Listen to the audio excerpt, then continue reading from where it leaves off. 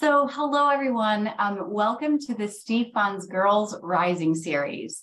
We are very excited to be hosting our first webinar today called Weaving Wellness, Connecting Mental Health Resources, Community, and Self to address the mental health struggles of Native and Indigenous girls and young women.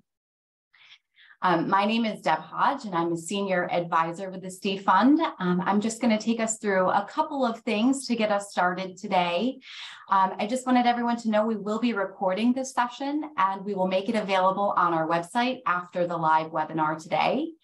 Um, and while participants are muted, feel free to use the Q&A function and the chat box to ask any questions you have, make comments, and really engage with our presentation. Um, if we can go to the next slide, I'll give you a little introduction to the Steve Fund. Um, the Steve Fund is the nation's leading organization focused on supporting the mental health and emotional well-being of young people of color. We work with colleges and universities, nonprofits, researchers, mental health experts, families, and young people to promote programs and strategies that build understanding and assistance. With our multicultural mental health experts, we deliver virtual, on campus, and on site programming and services, such as our workshop today. So if you are interested in learning more about the Steve Fund or our programs and services, please feel free to send me a message through the chat feature, um, or you can also visit our website. Without further ado, I am honored to welcome our phenomenal and dynamic speaker, Haley Chevelle. Haley is a Native and Indigenous content consultant for the Steve Fund. She is also an Indian Child Welfare Act advocate working to support Native families going through child dependency cases. Haley is a re-enrolled member of the Dry Creek Rancheria Band of Pomo Indians. She received her master's in education with a concentration in social justice from San Francisco State and she is also an alum of UC Davis, where she received a bachelor's degree in psychology and Native American studies. Haley values love, justice, and building community, and we are so lucky to have her leading our workshop today. So with that, I will hand it over to you, Haley. Thank you so much, Deb, and thank you everybody for joining me this morning. Uh, it's morning still for me. Um, before we begin, I would like to do a land acknowledgement and let you all know where we are. In the chat box, um, we will have posted a, a link. This link will let, let you see whose native land you're on if you click on it. I am currently in Pomo, Miwok, and Wappo territory in Northern California, about an hour uh, north of San Francisco. If you know where you are located, if you could please put that in the chat and I can welcome you before we begin, that would be great.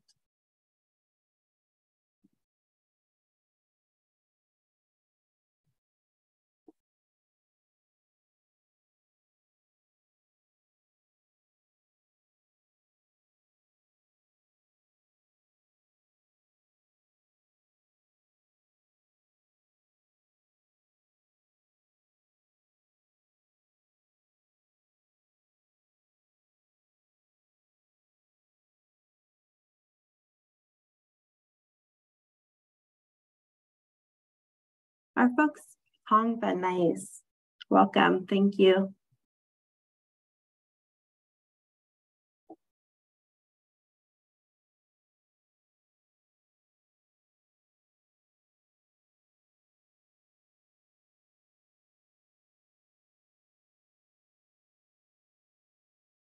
Munsee Lenape here.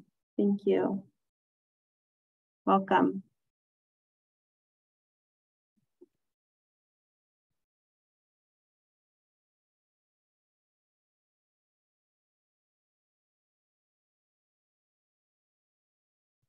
Duluth land of Anishinaabe, Lakota, Dakota. Welcome, thank you.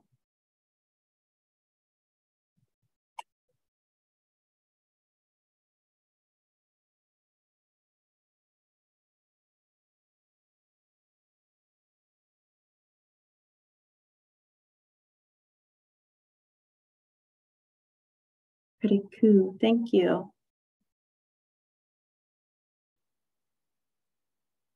Oh, wonderful, Lenape. And as these keep rolling in, I'm going to go ahead and go on to our agenda. So please feel free to continue sharing if you have them. Thank you, Potawatomi. Um, our agenda today, we are going to do our introduction, objectives, and community agreements. Then we'll go into what's weighing on us. From there, we'll get into what's kind of getting in our way. And lastly, we'll, we'll touch on weaving networks of care and community.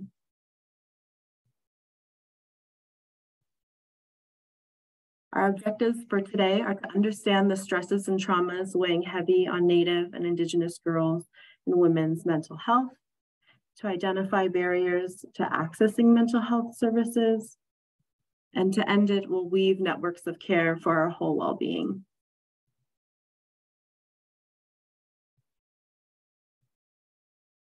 Some community agreements. I'd like you to be present. At this time, if you do have a pen or paper, can you um, put it next to you part of what this uh, webinar will be asking is to engage in journaling and self-reflection. So please engage as best you can. Please be open to reflection and please understand that you are your expert of yourself, right? We don't, I, I can't know your story more than you. Um, so during this webinar, if you're able to use what you know about yourself and reflect on that to share and to uh, help build these communities with care, that would be great.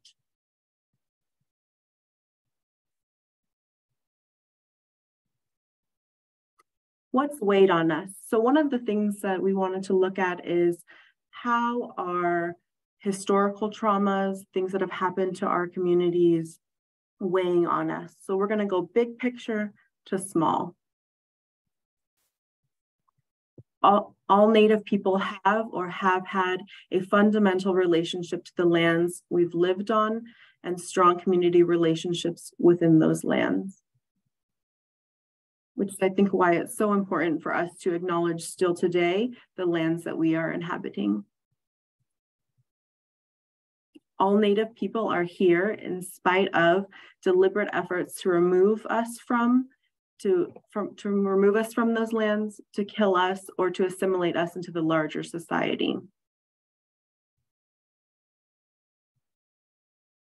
The first being reservations in this picture, you can see, or this GIF, you can see kind of the way that lands and our landscape in relation to lands has changed throughout the years, right? Being on put on reservations, being isolated in that way, being deliberately kept there from others and from the larger society. And then it changed to relocation, right?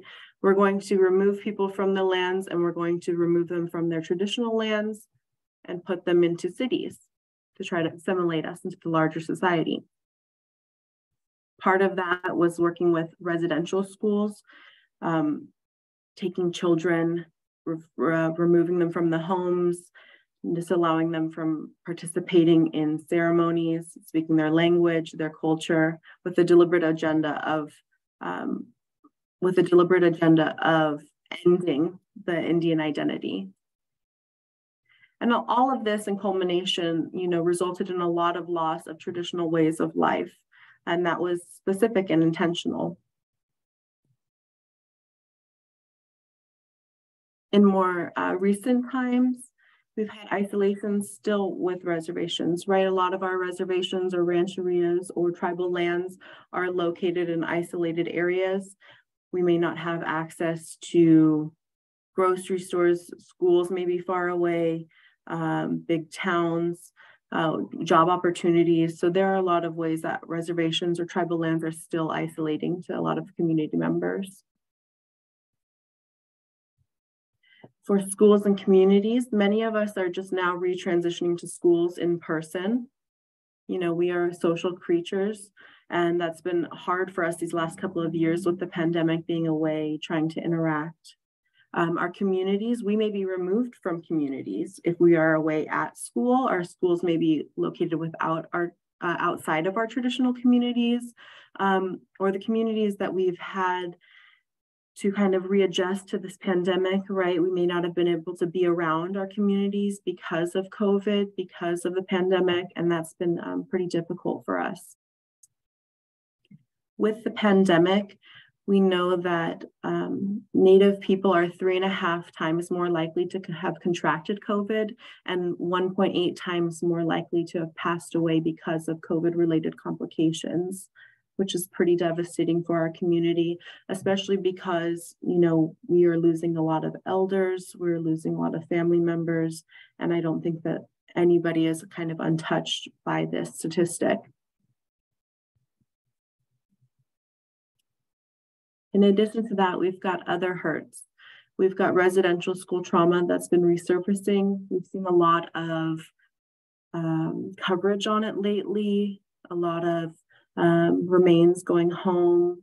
We've seen a, a kind of a rediscovery by mainstream media of what's been happening, things that we as the community are aware of, um, but it's kind of coming to light for everybody else and so that is bringing up a lot of a lot of pain a lot of trauma a lot of revisiting that with our elders and people who directly experience that um, media portrayals are not always the most positive we just had the super bowl here um, in the us and you know it was the kansas city chiefs right um, and so what does that mean for our identity and how we see ourselves or how other people see us um, some of that is changing.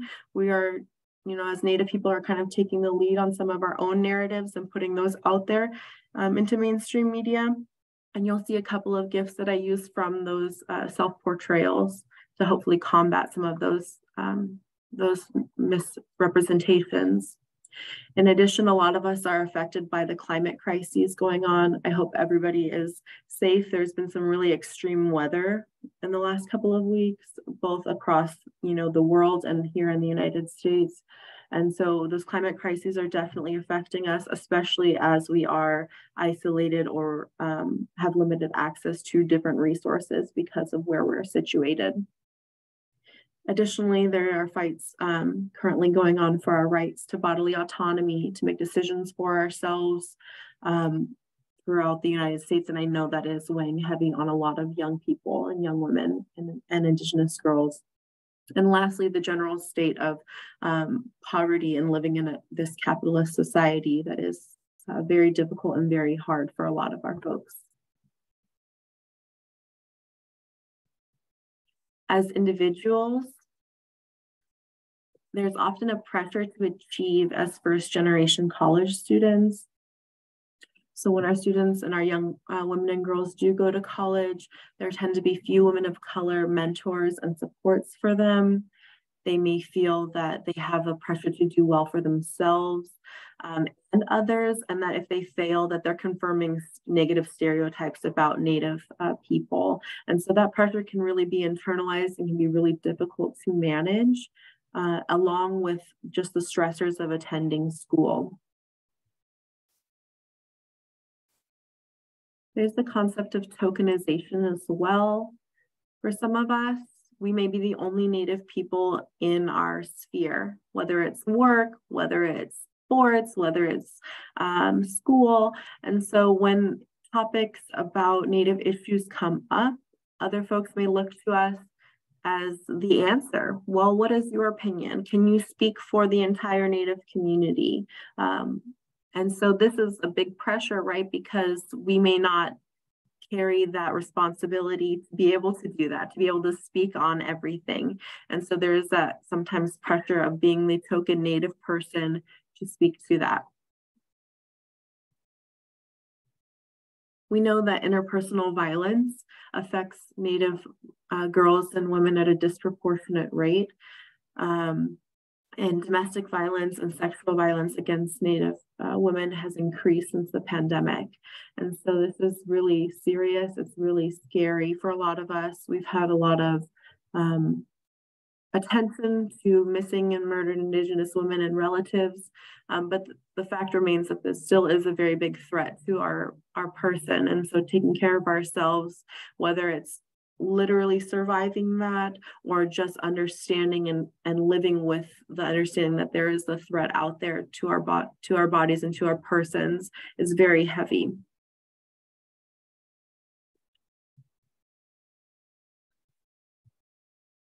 And lastly, some of us are engaged in substance misuse and substance misuse as a coping mechanism, right? And as a way to combat um, combat any of the traumas and things that we are are handling and engaging with. And so that's oftentimes we see young young people using uh, substances and misusing substances as a way to handle um, and cope with all of these stressors.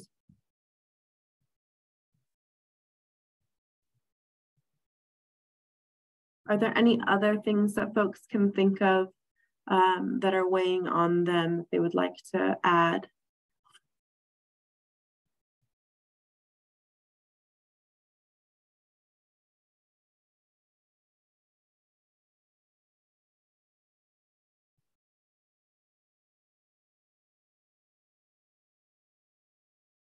Okay, we'll keep going.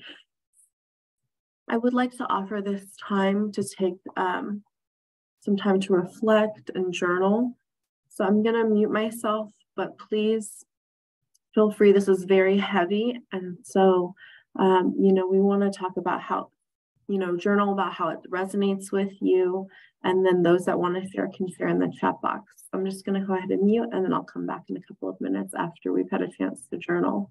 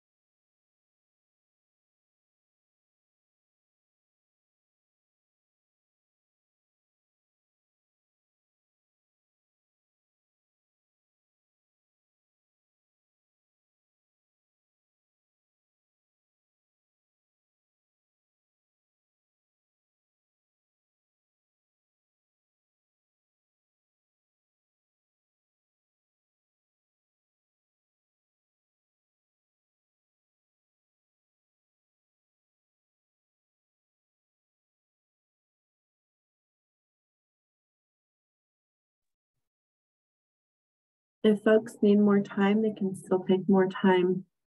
Um, I don't know if anybody has seen this So uh, Reservation Dogs on um, FX or Hulu. Um, this is one of my favorite characters, Cheese. Um, and you know, it, the one word that I uh, came up with when I was journaling is that this feels uh, very heavy, um, heavy for me to, to talk about and to dive into and to put out there in such a short amount of time. I'm uh, curious if anybody else has anything that they would like to share about how this felt for them.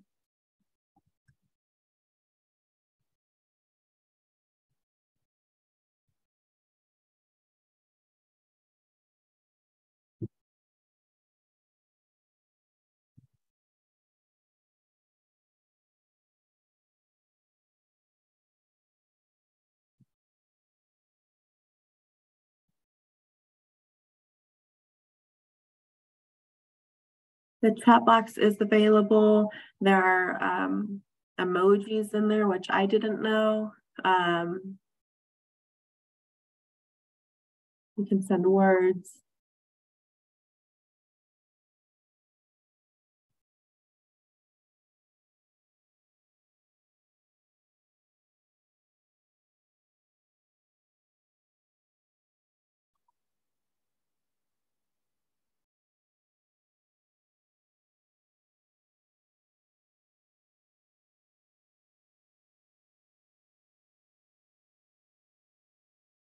Okay, we'll move forward. I do want to take this moment to pause and redirect. One of the things that I think is really great about our community is, oh, it is a it is very big. Thank you for sharing that. Um, I think it's impossible to talk about where we are, where we are without talking about how everything has been in the past um, and how it has influenced us today. I really appreciate that comment. Thank you.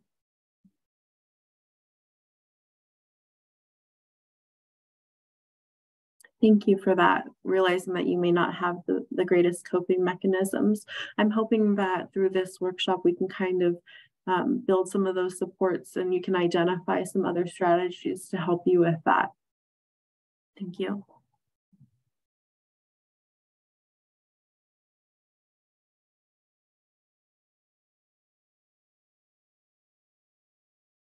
Thank you. I appreciate that. I think it is important for us to be vulnerable, to be open. Um, for me, I, I, believe that's you know when we need each other the most is when we're um, when we're needing that support, and so being able to reach out rather than close off, I think has been a benefit, um, a benefit for for me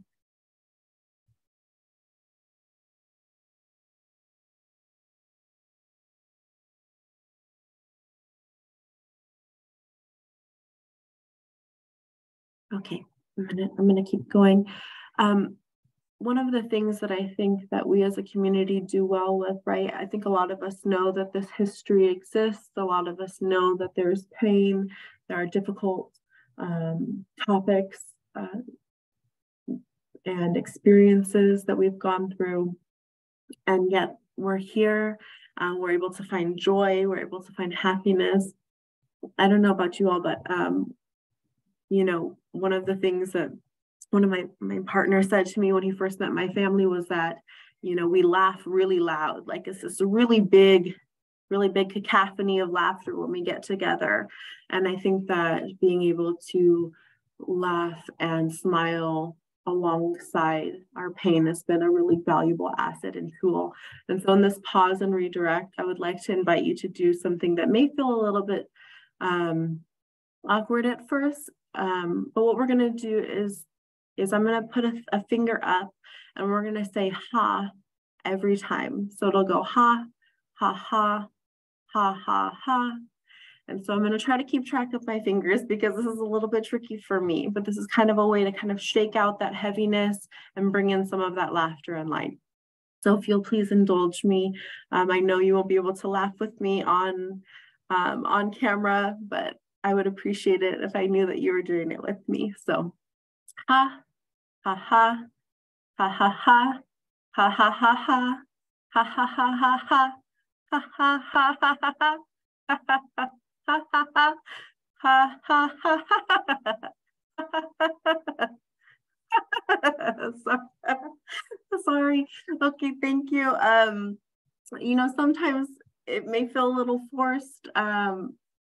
but it can be very therapeutic, right, to laugh. So being able to uh, find those moments of joy and really hold on to them, I think is important for us um, because we are a joyful people. We are a happy people. Yes, it is very, oh my goodness. I can, every time I'm really, it's really hard to keep track of the ha's, but please keep that in your toolbox. You know, sometimes you got to fake it till you make it and, and even faking it till you make it will make it real. Yes, thank you. So as, as somebody mentioned, you know, sometimes we may not have the best uh, coping mechanisms. There may be other things getting in our way of accessing mental health services to support us, right? We have, we know all of the history, we may not even understand it all, but we know it's there.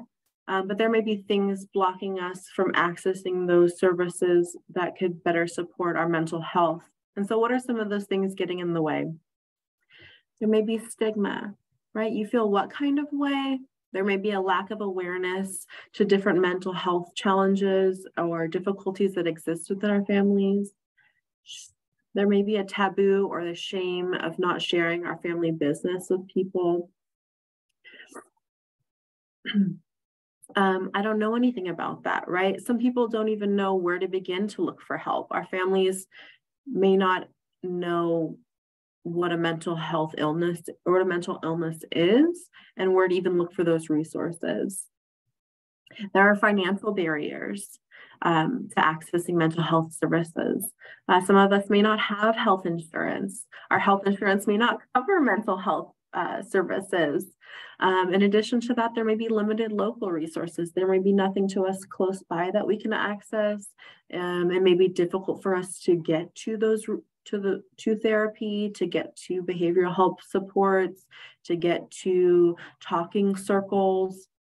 Um, and so that is also a barrier for us accessing those mental health services. And there may be a general distrust, right? There may be a lack of um, culturally competent providers. You know, we may not see anybody who looks like us.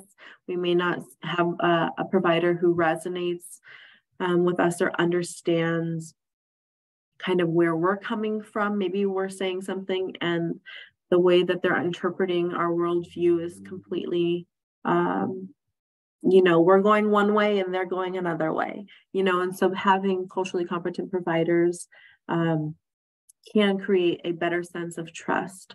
Sometimes there are confidentiality concerns right? We don't want families knowing our business but maybe we don't want the community knowing our business. And we're worried that if we're accessing these services maybe in a indian health clinic that that's going to get out to everybody or or they're going to see us coming to the therapy and they're going to know hey something's going on with so and so and did you see so and so right? Um, there's a concern that there may be a lack of proper diagnosis because of that lack of um, culturally competent uh, care and lens um, does anybody else have any um, other barriers that you can see accessing mental health services?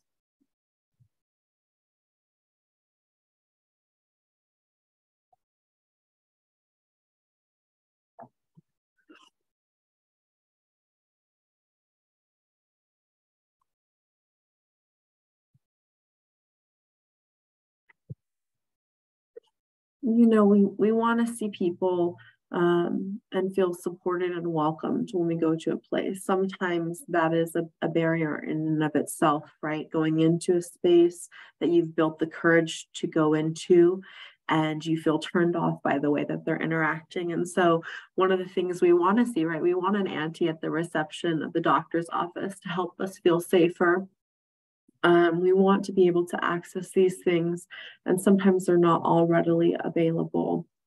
But please do know those supports are out there, and that's what we're hoping to, to get to.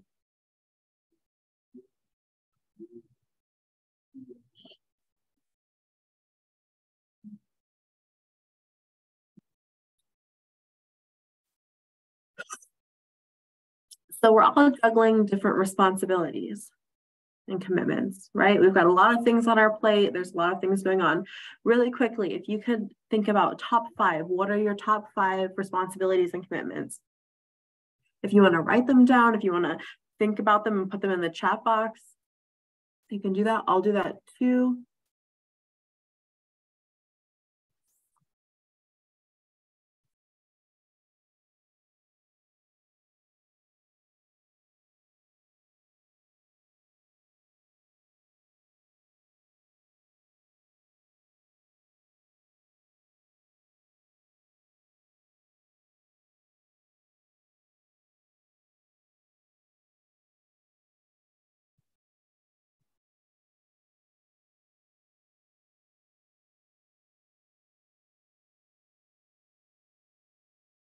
Yes, work, school, fitness, family, mental health, for sure. I've got a dog who has to get walked. I've got work. I got to take care of home. My grandma lives with us, right? Yes, school, job, family, friends, physical health, work, kids, money, your partner, mental health.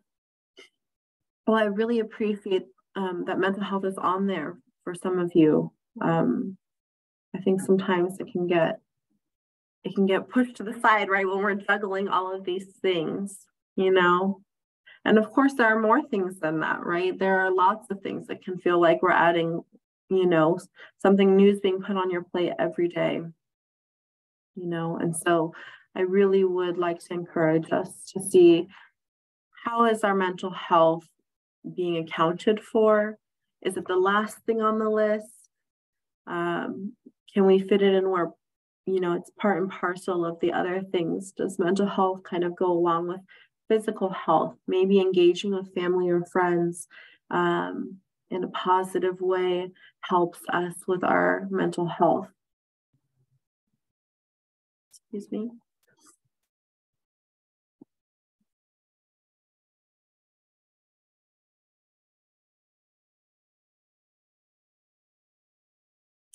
All of this to say, you know, as a people, we have never survived by ourselves, right? We have never just one a one person camp, you know. We've always survived by taking care of each other, by looking out for each other, and by sharing the load.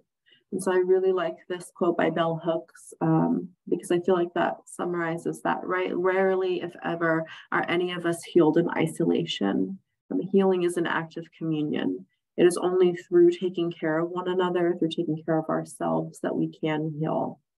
And I think oftentimes a lot of us, um, you know, young girls and women are, are taught to care for others and really recognizing that it's important for us to care for ourselves so that we can you know be a part of this community and that other people are willing to help us take care of ourselves right? To be willing to accept that help for ourselves as well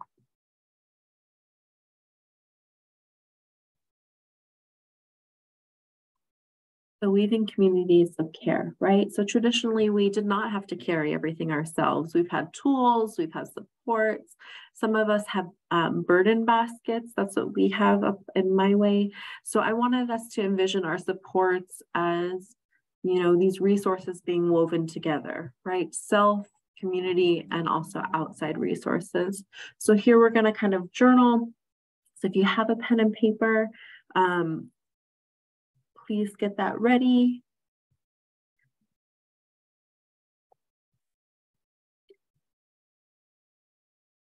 So looking at ourselves, if you want to draw like a little bubble in there, if you want to do I am, something like this. Right, so I want you to think about things that you are, right? What are your positive characteristics, your positive traits? And go ahead and branch out from that I am and write them down.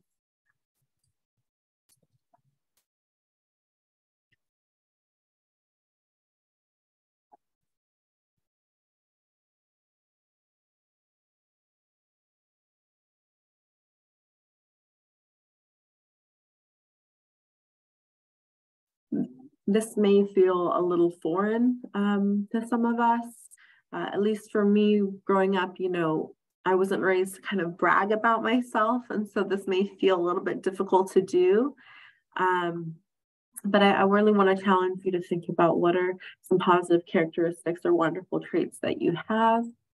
And if you're having a hard time doing that, you know, think about if you were to post a picture on Facebook, right, and you've got some really supportive aunties or friends, and they're saying, Oh my gosh, my beautiful girl, my beautiful niece, like, I love you. What would these people say about you? Because sometimes people are better reflectors of that um, for us.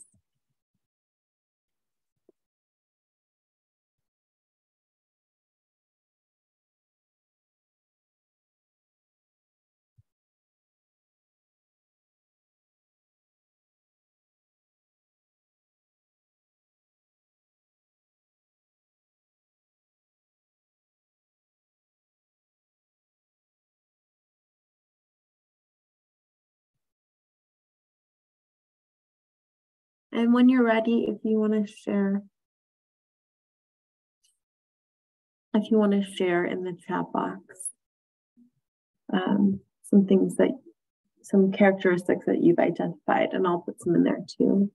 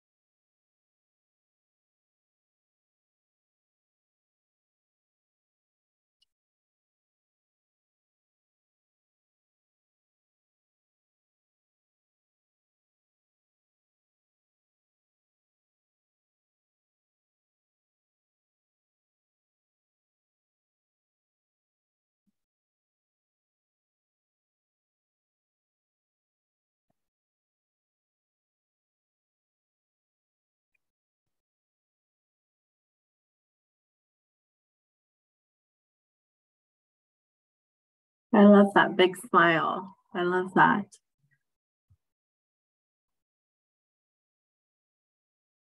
Strong, yes. Smart thinker. Listener, that's great. Fast learner.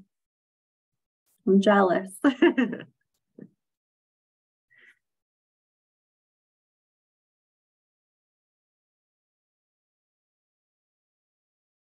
I love that. That's great.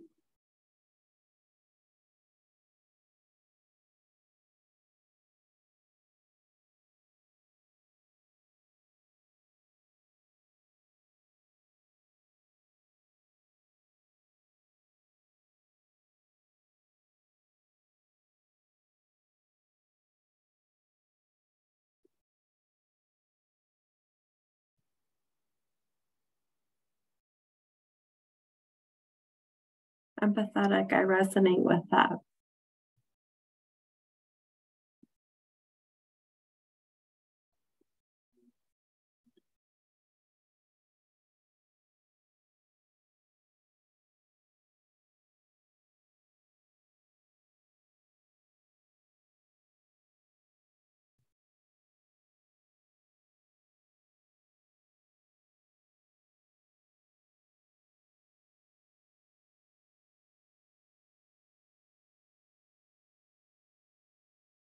I put I put playful in there for me. I think it's been really important for me to um, be playful and and be fun and be hopeful that things can be better. I think it's been a a really important uh, characteristic I've tried to take on recently.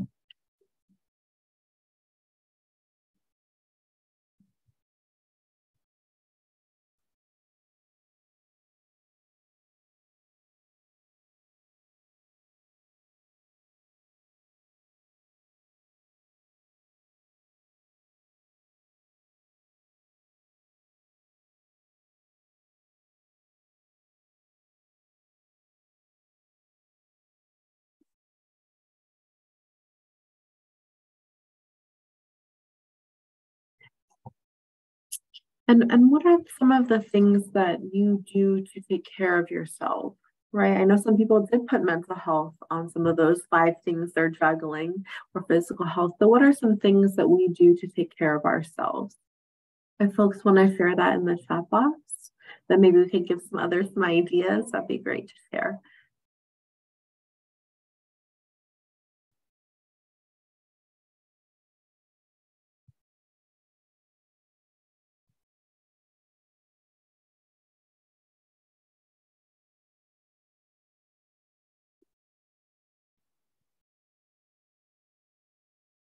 Movement. Nice. What kind of movement? Any kinds? Are we walking? Are we running? Are you dancing? Soaking up the sun. Amazing. It works even when the clouds are out, the sun still gets you. Please, I encourage you to, to get outside if you can, if it's not it's not too rainy or too snowy where you're at. Therapy, exercise, play, listening to your children. Not all the time where they'll get they'll really pull one over on you. Making time for the gym, reconnecting with friends. It's really important. I think, you know, COVID has gotten us a lot, a lot of us isolated. Um, we've got some tools and strategies to be able to to reconnect right via social media. We've got access now more than ever to be able to share things with, you know, with one another but sometimes reconnecting in person um, really makes a world of difference for rejuvenating. Dancing, oh, I love that. Wonderful, another dancing, yoga, walking, yes. I, I appreciate that. Um, I have a little one, and sometimes I'll tell her, like, I'll start dancing, and she'll look at me kind of silly. And I'll say, Oh, that's just my wiggle worm. My wiggle worm wants to dance, you know? So sometimes we've got to just let our bodies move um, to get those endorphins going right. Yeah. When we think about, you know, taking care of ourselves, right, sometimes we get stuck in this self that it is just us, right? That these are things that we can do to take care of ourselves, and this is where it, ends. Um, and so, when we're thinking about how we can support ourselves and our mental health, I want to challenge us to think a little bit bigger, right? To think about who our communities are um, outside of your bubble of who you are, right? If you could think about um, who you can turn to, right? If you're having issues that feel too big to carry on your own, if you want to go ahead and write those folks um, or those those places or those um, communities down. And here are some prompts that you can use to kind of guide you in thinking about um, who that might be. So blank makes me feel safe. Blank makes me feel loved. Blank makes me feel cherished. Blank is rooting for me.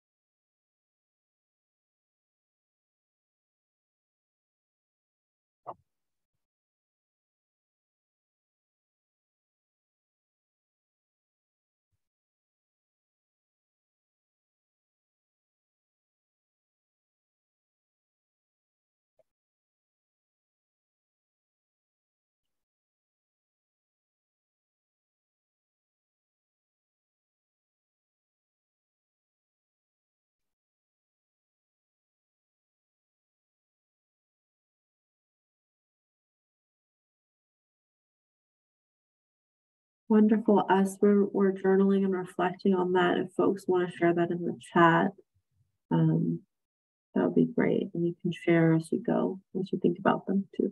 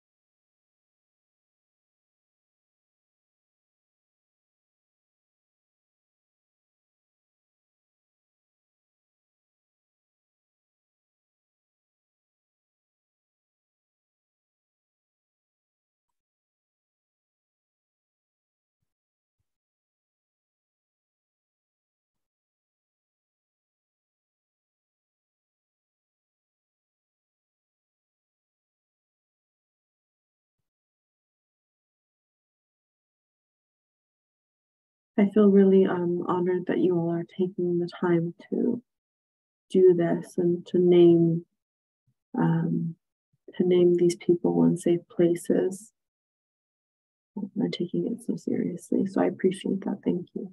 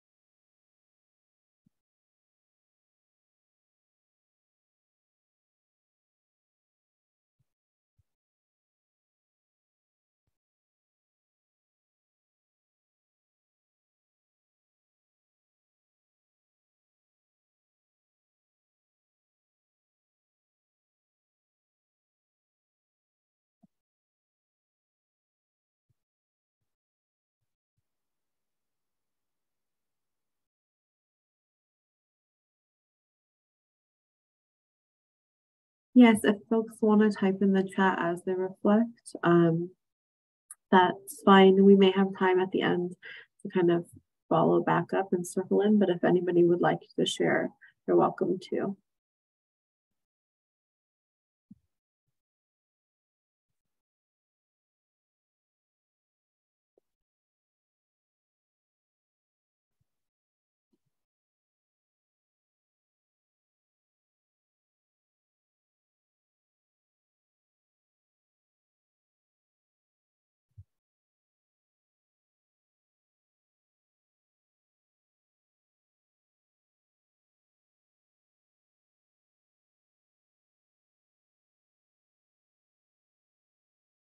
Don't know if I can see. Are folks comfortable moving, keep going, or do they need more time to reflect?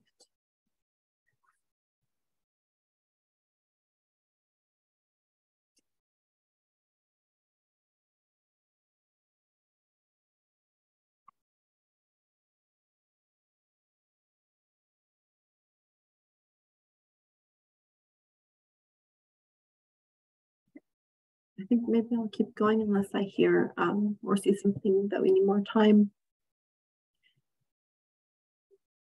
I also want us to revisit our I am, right? I know I prompted that in the beginning. Um, how are these people that you, you identified or these communities, would they describe you?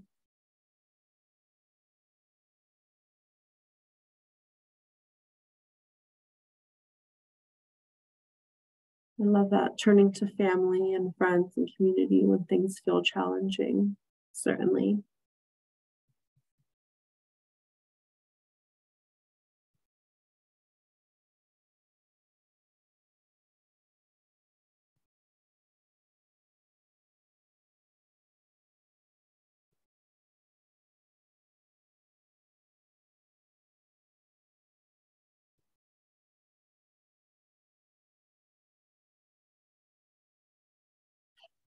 My community describes me as resilient and strong. Most definitely. They must be onto something.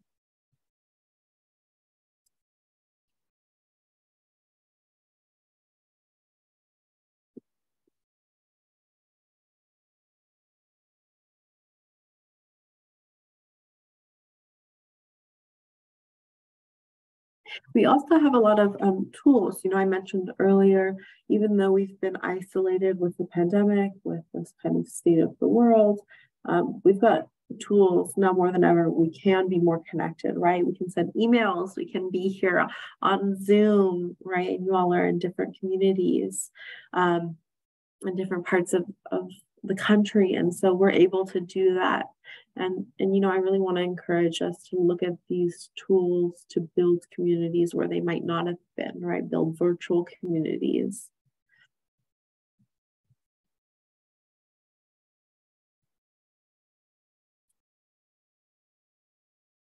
Beyond just ourselves, beyond our communities and those resources um, and those uh, folks that take care of us and make us feel held and seen, there are other resources out there and available to support you in your mental health.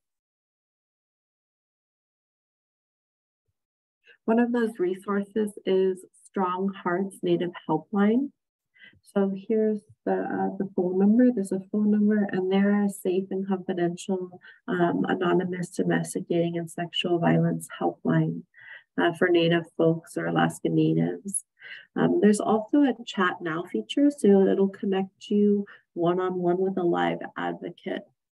Really important, as I mentioned, that you know the increase in interpersonal violence uh, for our Native, excuse me, for our Native um, girls and women and families in general with the pandemic has increased.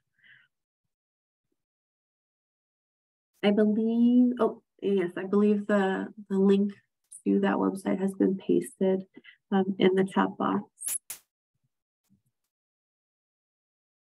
There's also We R Native. So there's an Ask Your Relative feature on this website, and you can kind of submit a question to them and they'll answer it as a staff. Um, it's kind of like an Ask Your Relative, Ask Your Auntie a question. So if you've got a question, you know, on your mind and you feel like, I don't know who to ask, this is the question that you can ask them and they'll respond to you on. Um, additionally, they have lots of resources. Some of them are on culture and native pride. They've got resources around your body, bodily autonomy. They have resources on relationships, dating, sexual health information, as well as mental health resources. And then, you know, for some of us, we may feel like, okay, what now? Uh, I've got all this, I know all of this information.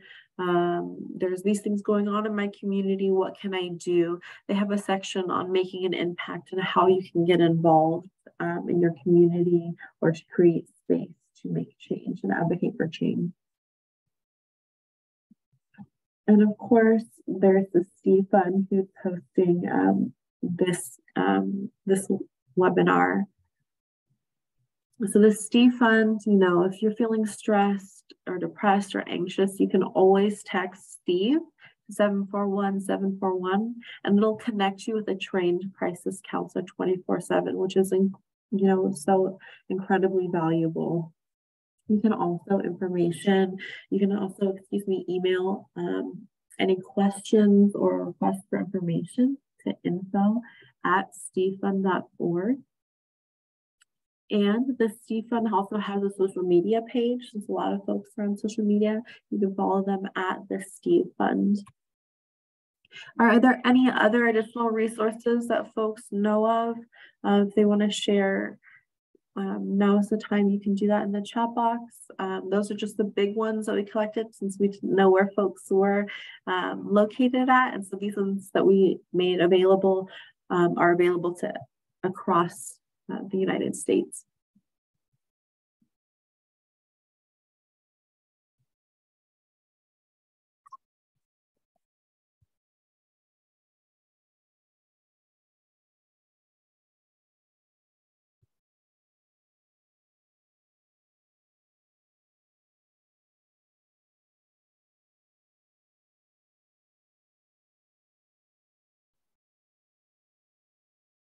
The chat box is there. Folks are, are welcome to share when, if they can think of anything.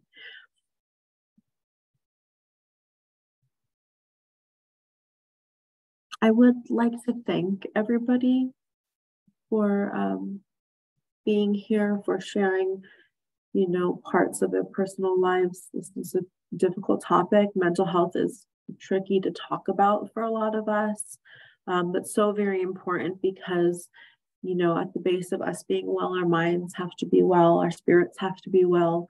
And so, in exchange for that, I would like to um, to offer you a song. I've asked my grandmother um, for permission, and in our in, you know my community we have a song specifically for young girls and young women and so that's what i would like to share with you today um, at the end of, of our songs we say oh as a kind of um, recognition and, and appreciation for that song. So um, if we could play that, please. And sing the girl song, Joe. For the girl.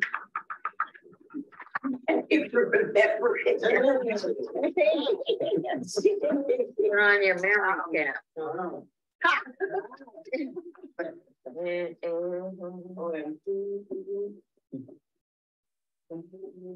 This is for the young girls.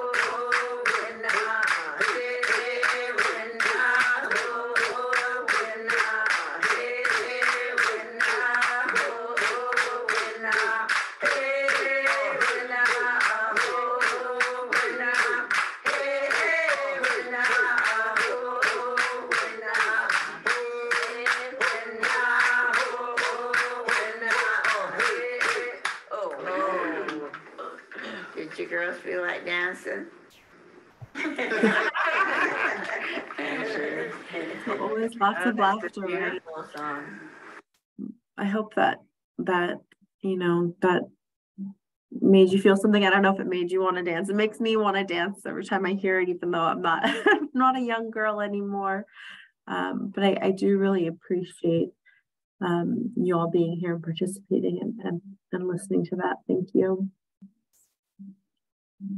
I would like to let you know that there is a next webinar called for Girls Rising, um, ASHA, ASHA, uh, South Asian Young Women Giving Voice to Our Mental Health and Well-Being. And the presenter is Dr. Sheetal Shah. She's amazing.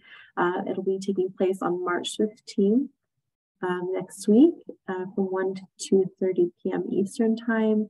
There's a QR code if you want to scan it, but I believe, yep, the webinar link is in the chat as well.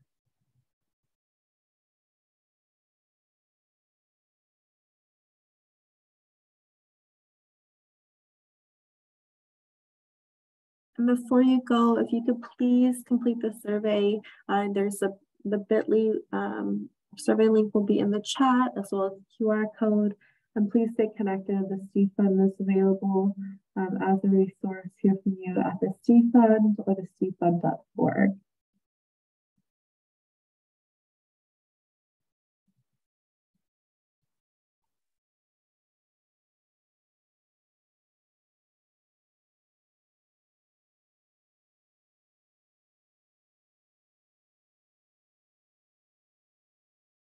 And once you've done that, um, we, we're open up, you know, if there's any questions that you have that I can answer, please feel free to share that in the chat.